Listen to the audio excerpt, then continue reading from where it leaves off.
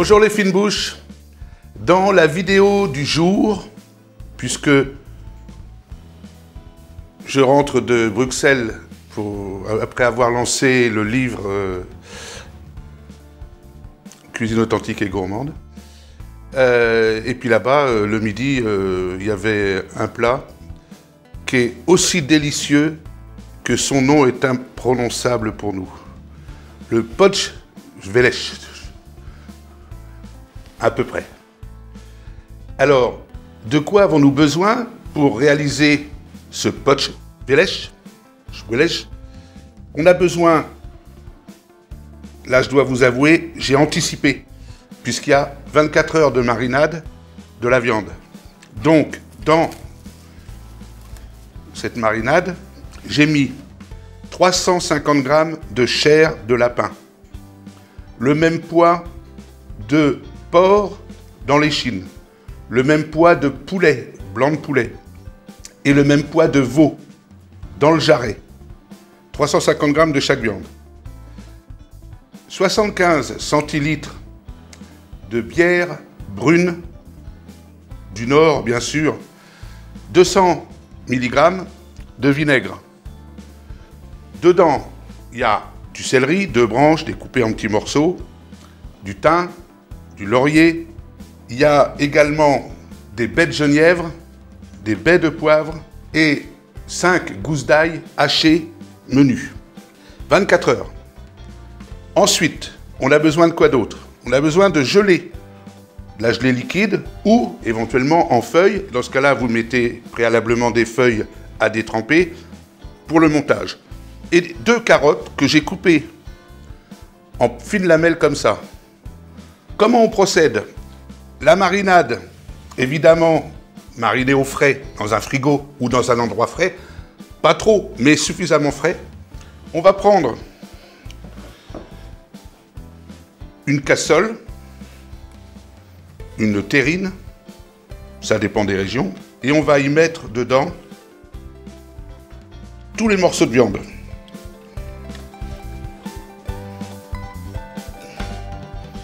Éparpillé. Alors attendez, prendre une écumoire plus dure parce que celle-ci elle tourne un petit peu.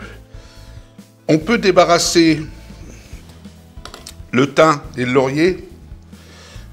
Voilà. Alors là, vous voyez, toutes les viandes sont un peu mélangées.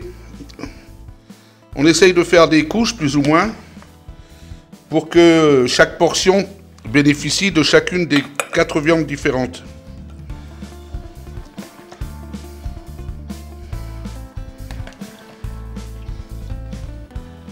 Tout doit disparaître. Hein.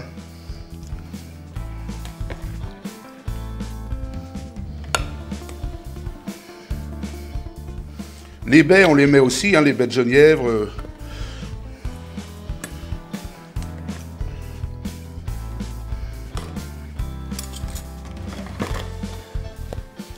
Là, une fois qu'on a mis toute notre viande, on va venir mettre la gelée.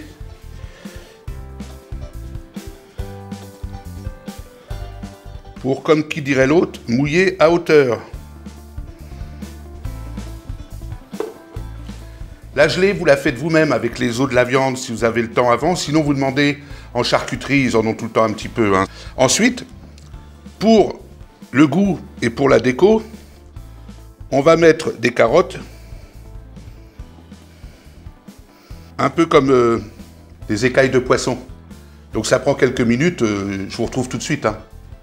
Au préalable aussi, le four à 150 degrés. Parce que dès que c'est fini, ça part au four pour 3 heures. Donc on se revoit dans 2 minutes pour la mise au four une fois que ça sera terminé là. A tout de suite. Voilà les fines bouches, voilà mes amis ch'tis. Vous avez vu, on a tout recouvert de carottes un peu comme si c'était une écaille de poisson. Là, on couvre et on va mettre au four. 150 degrés pour 3 heures. Ensuite, je vais le sortir du four, je ne viendrai pas vous déranger pour ça. Je le mettrai au frigo le temps que la gelée prenne. Et une fois que la gelée sera prise, on se revoit pour la dégustation. À dans quelques heures, les amis. Les fines bouches, le post Welch, de viande, est terminé. On l'a fait hier. Je l'ouvre, j'ai déjà prédécoupé. Maintenant, la difficulté, c'est d'arriver à mettre une belle tranche sur les frites, ici. Voilà. Les frites sont chaudes, la gelée va fondre un petit peu dessus. Ça va se mélanger. Et là, dedans, il y a les viandes.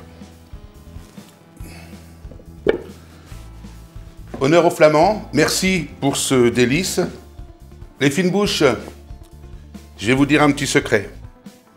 Je me livre pas mal, mais là, ce que je vais vous dire, c'est profond. J'écris euh, pour euh, des tas de choses et j'ai un pseudo, et ce pseudo, c'est Joseph de Mons. Pourquoi?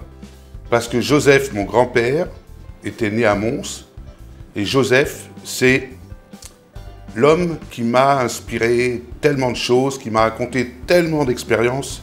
Alors, je sais pas là où tu es, si tu sens ce que je sens, Joseph, mais c'est pour toi.